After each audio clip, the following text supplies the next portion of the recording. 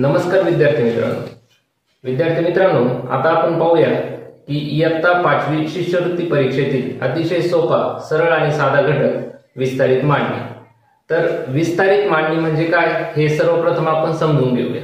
विस्तारित मांडणी म्हणजे कोणतेही संख्या तिच्यातील अंकाच्या स्थानिक किमतीच्या बेरजेच्या रूपात लिहिणे म्हणजे त्या संख्येचे विस्तारित रूप होय किंवा विस्तारित मांडणी होय.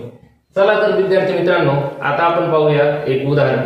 उदाहरण घेतो मी पाच लक्ष पंचवीस हजार तीनशे सत्तावीस.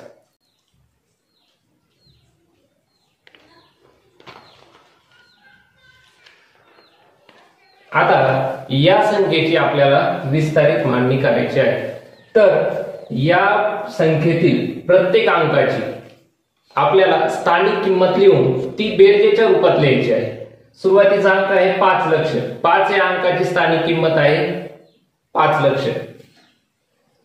पाच हा अंक लिहिला आणि त्याची आपण स्थानिक किंमत लिहूया. पाच लक्ष.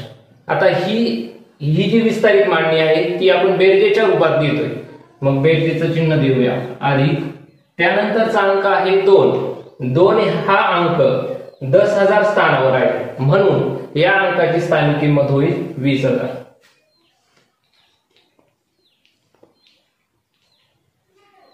अधिक. त्यानंतरचा अंक आहे पाच. पाच हा अंक हजार स्थानावर आहे. म्हणून पाच या अंकाची स्थानिक किंमत पाच हजार. अधिक. त्यानंतरचा अंक आहे तीन. मग तीन हा अंक शतक स्थानी आहे.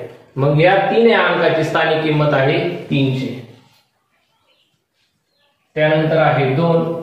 दोन हा अंक दशक स्थानी आहे दोनची किंमत वीस. सात हा अंक एकक स्थानी आहे सातची किंमत सात.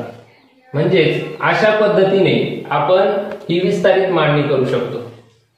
त्यानंतर आपण पुढील एक उदाहरण पाहूया.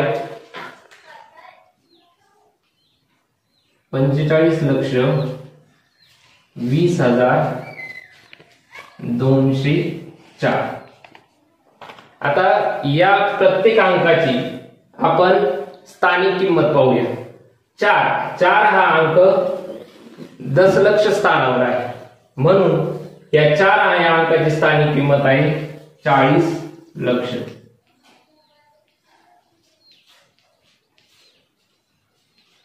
अधिक पाच हा अंक लक्ष स्थानावर आहे. म्हणून पाच या अंकाची स्थानिक किंमत पाच लक्ष. अधिक दोन हा अंक दस हजार स्थानावर आहे. म्हणून ह्या दोन या अंकाची स्थानिक किंमत वीस हजार अधिक पुढे शून्य दिलेलं आहे. शून्य या अंकाची स्थानिक किंमत आहे. शून्य हा अंक हजार स्थानावर आहे. पण त्याची स्थानिक किंमत ही शून्य आहे म्हणून ती शून्यच अधिक दोन दोन हा अंक शतक स्थानावर आहे. दोनाची स्थानिक किंमत दोनशे. अधिक त्यानंतर शून्य हा अंक दशक स्थानावर आहे. या शून्याची किंमत शून्य म्हणून शून्यच अधिक चार हा अंक एकक स्थानावर आहे. आणि या चारची किंमत चार